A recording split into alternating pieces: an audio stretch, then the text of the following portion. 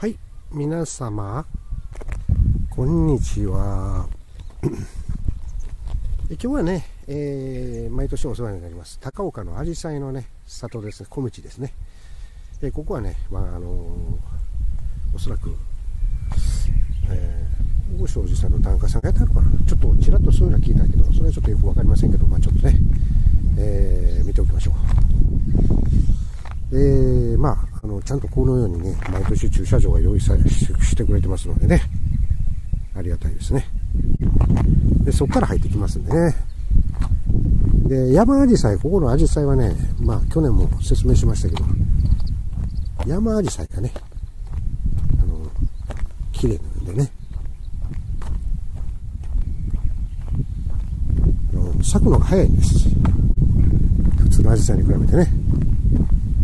このあの本格的なアジサイもここあるんやけどその場合はこの手前の川手前の川の方から見た方がええからその道から見た方が綺麗ですよね。まあ向こうから見てもええんやろうけど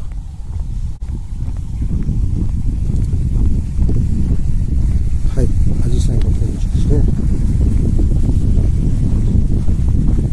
で本格的なアジサイはここからねここに川ありますから川の前から見たら綺麗。当然こないしてね見通しがええから、うん、高岡の里。で山アジサイは咲く時期が早いのでもうそろそろ咲く頃なんですね。えっ、と熊が出るので注意してくださいね。あの熊にね合わないように。はい山ありさん綺麗に咲いてます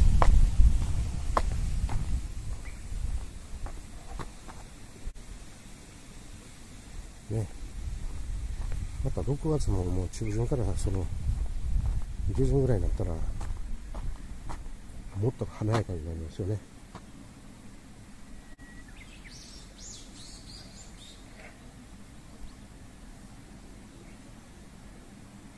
さすが知ってはる人が来てるな、もうな。さすがやね。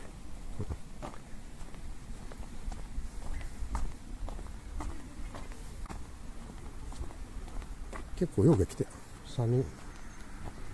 うん、結構来てはるね。まあ、青が多いね、ここね。でもあそこ赤があるから赤を見たよね、やっぱりね。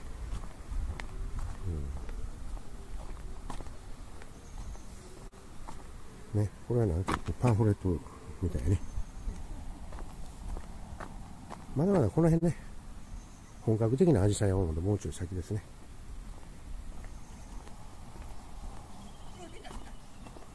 赤がね、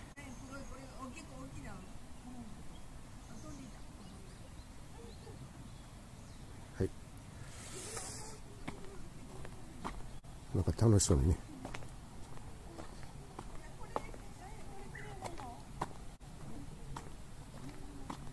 赤とちょっとこの紫っぽいのもあるな。まあ、状況シリーズなんでね。はい。ベンチもちゃんと用意されてますからね。見やすいですね。ゼンマイが生えた後もよく見てありますけど、これなんかここにどこでもドアみたいなのがあってね。ミニ、ミニチュアのどこどこでもドアやね、これね。あの、新米小浜とかね、あの、過去多いゲームもありますよね、大きいのが。それでは。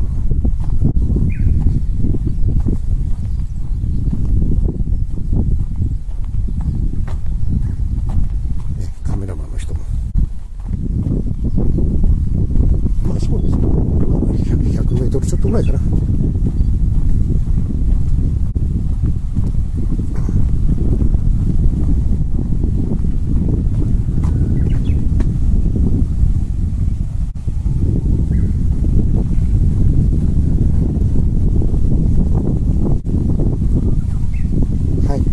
この辺りまでですね。